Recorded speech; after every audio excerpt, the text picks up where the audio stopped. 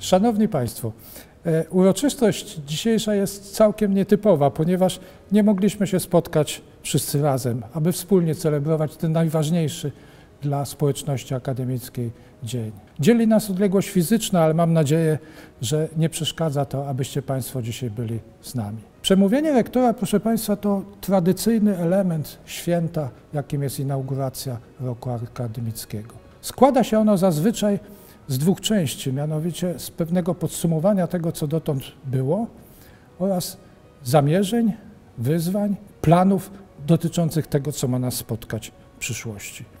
Jeśli się ma na myśli 18-tysięczną pod względem ilości studentów uczelnię, to nie sposób jest wykonać sprawozdanie, które zawierałoby wszystkie aspekty jej działalności. To jest zwyczajnie mówiąc niemożliwe. Więc pozwólcie Państwo, że dokonam pewnego wyboru elementów, które chciałbym w takim sprawozdaniu zawrzeć. Spójrzmy na mijający rok nie tylko pod kątem tego, że dotknęła nas pandemia, ale także, że był to rok niesłychanie bogaty w zmiany. Przecież już żeśmy zapomnieli, że zaczynaliśmy rok akademicki e, z czymś, co jest podstawą wszelkiej działalności, a mianowicie z nową ustawą o szkolnictwie wyższym. Ona przeorała nasze stosunki wewnątrz uczelni. Mamy inny senat, pojawiło się nowe ciało, jakim jest Rada Akademicka, inaczej przebiegają doktoraty, inaczej przypisujemy działalność naukową do pracowników i do uczelni, praktycznie w każdym obszarze dokonały się zmiany. A przecież oprócz tego było wiele rzeczy, o których tak jakby mimochodem można byłoby wspomnieć. Jak tu zapomnieć, że w Opolu mamy pierwszą certyfikowaną uczelnię, która radzi sobie z oprogramowaniem do trenowania robotów software'owych? Nikt tego w Polsce nie ma. Jak inaczej powiedzieć wtedy, kiedy mówimy o e, takich aspektach jak na przykład projekt Europejska Refleksja e, we freskach, a więc w muralach, a więc w innych tego typu przedsięwzięciach. Ponownie tutaj widzimy e, Opole. Ale przecież nie tylko. Mamy laboratoria wirtualne, mamy pozytywne akredytacje. Proszę Państwa, dwa aspekty zewnętrzne. Pierwszy aspekt, o którym już wspomniałem, to jest nowa ustawa o szkolnictwie wyższym. My mamy na to wpływ tylko taki, że potrafimy wypowiadać, jak to z naszego punktu widzenia wygląda, wziąć udział w odpowiednich konsultacjach i liczyć na to, że nasze wnioski zostaną uwzględnione. Daje nam to pewną siłę, zwiększoną przez to, że jest takich uczelni jak wrocławska czy opolska e, więcej w Polsce, a więc nasz głos jest lepiej słyszany i to pozwala nam na e, właściwe oddziaływanie na proces legislacyjny. Jednak przecież nie od nas to zależy. Musimy takie rzeczy akceptować tak, jak one wyglądają. To jeden aspekt zewnętrzny. Drugi aspekt zewnętrzny to jest oczywista sprawa. Mamy czas pandemii. To pandemia wymusiła, że dzisiaj tak, a nie inaczej rozpoczynamy rok akademicki, ale przecież nie zaczęła się dzisiaj. Zaczęła się, jak wszyscy pamiętamy, zarządzeniem o wstrzymaniu zajęć dydaktycznych w, w realu, jak to często mówimy, e, w, na początku marca. To jest, proszę Państwa, oznaka tego, że cały semestr przeżyliśmy nauczając online. Czy wyszło nam to dobrze? No, od, trzeba zacząć od tego, że trochę nam się udało. To znaczy, że Decyzje zapadające wcześniej pozwoliły nam nie tylko uruchomić wirtualne laboratoria, ale także pozwoliły nam e, opanować e, elektroniczny obieg dokumentów, przygotować studentów do pracy synchronicznej i prawda jest taka, że wszystko było potem już w rękach dziekanów. Chciałbym tutaj w tym momencie wspomnieć o panu e, profesorze Kamińskim, który jest e, e, dziekanem naszego Wydziału Wrocławskiego, o pani doktor Mizerze, która jest dziekanem e, Wydziału Polskiego, albowiem to oni na, w pierwszej linii frontu działali i spowodowali, że w ciągu mniej więcej tygodnia przestawiliśmy zajęcia z zajęć odbywanych w salach do zajęć online odbywanych poprzez łącza i telekomunikacje. czy wyszło nam to dobrze? To jest pytanie, ponieważ naszym podstawowym zadaniem jest uczyć, czy robimy to dobrze. E, oczywiście, że badamy, e, jak nasi studenci się do tego odnoszą.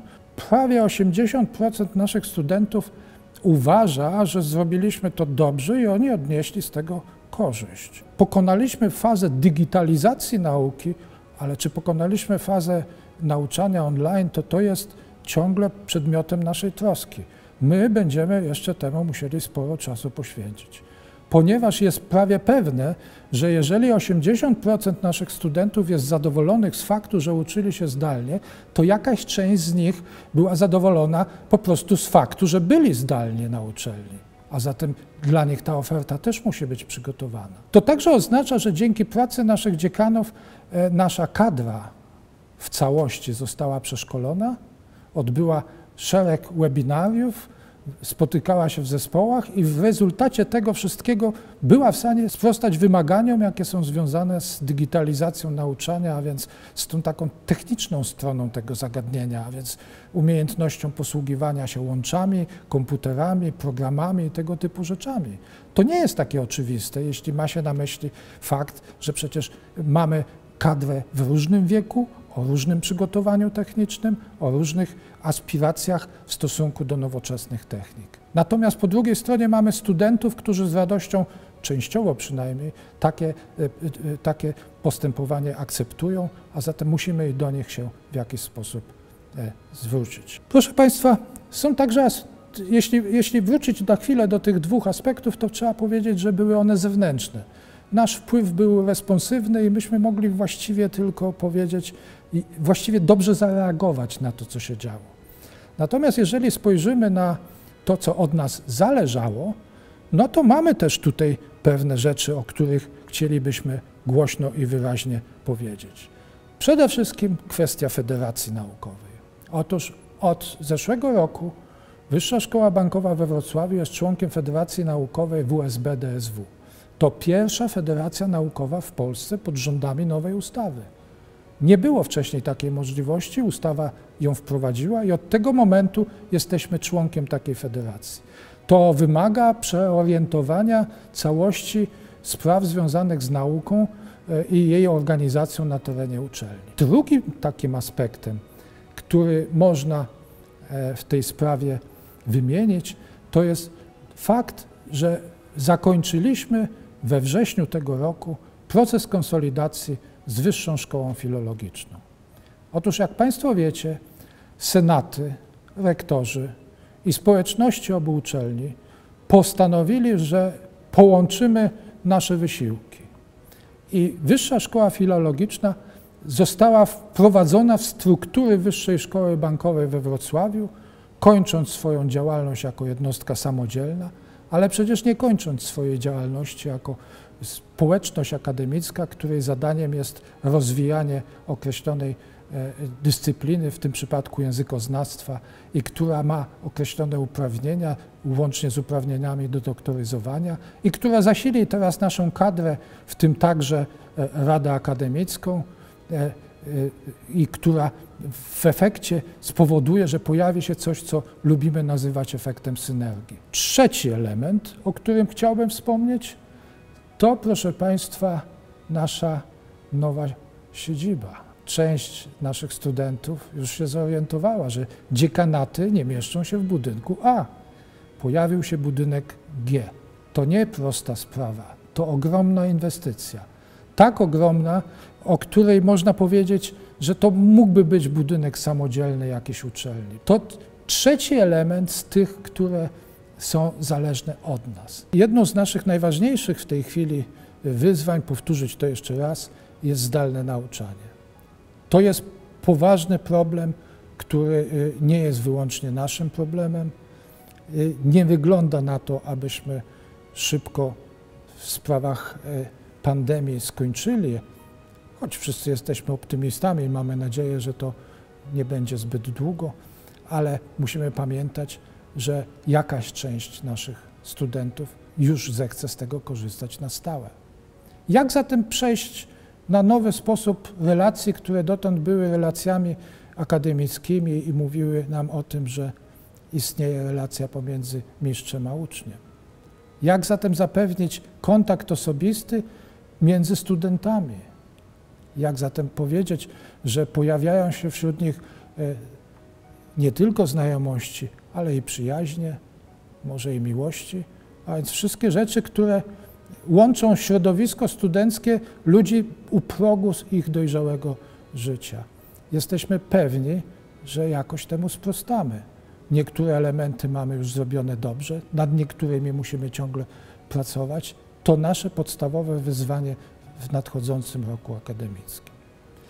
Proszę Państwa, kończąc swoje przemówienie, albowiem tak jak powiedziałem, nie ma możliwości wymienienia wszystkiego, mam nadzieję, że podzielicie Państwo ze mną optymizm, że to nie będzie zły rok, że mimo takiego początku, jaki mamy, koniec będzie lepszy, weselszy, przyjaźniejszy i będziemy mogli wszyscy razem na zakończenie roku akademickiego, wtedy, kiedy części z naszych studentów będziemy wręczać dyplomy, powiedzieć, że był to rok szczęśliwy, sprzyjający i pomyślny. Te słowa zwykło się wymawiać po łacinie, dając świadectwo naszego przywiązania do historii i szacunku naszych poprzedników. Quod felix, fastum fortunatum fesit. Proszę Państwa, rok akademicki 2020-2021 ogłaszam za otwarty.